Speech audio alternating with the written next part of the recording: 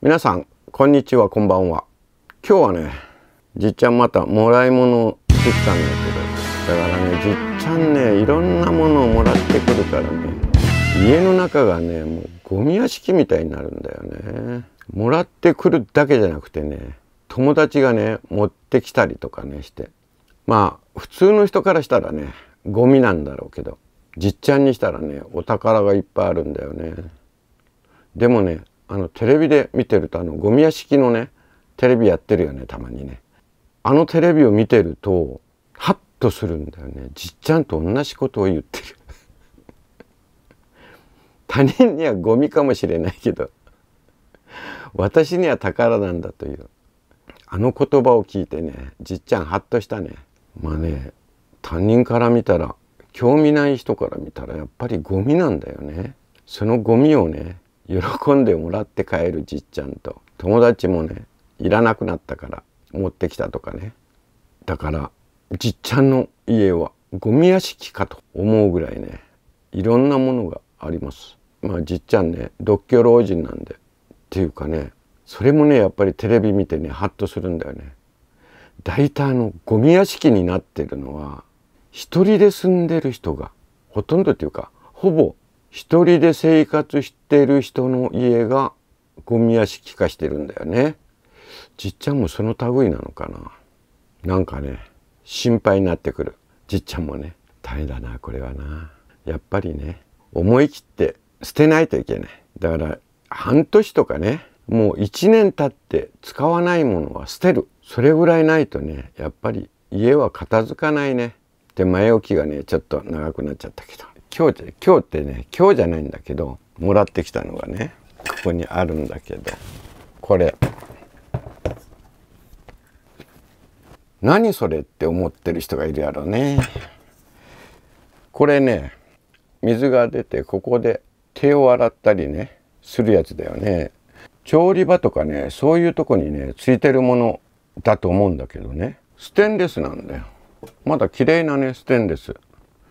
これ磨いたらねピカピカになるんだよね。たまたまね取引先に行ったらポンと投げてあったんだよこれ。でそこのね人に「これいるの使うの?」って言ったら「いや使わない」って「ちょうだい」って言ったら「いいよ」って言うんでもらってきたんだけどステンレスだからねしゃびないしと思ってもらってきたんだけどね。なんでもらってきたかっていうとじっちゃんの車中泊車をね改装っていうかいずれちょっとした洗い物なんかをするね。洗面台みたいな洗面台じゃないわな。何ていうの？流しキッチンをつけたいなと思ってるんだよね。ちょうどいい大きさなんだよねこれがね。こっちが35センチぐらいあるのかな。こっちが30センチ横が30センチちょっとかな。こっちはあ大きさはね30 35センチぐらいかな幅が。で高さじゃないわな。奥行き奥行きが40センチぐらいだと思うんだけど30センチの40センチぐらい。30ちょっとあるね。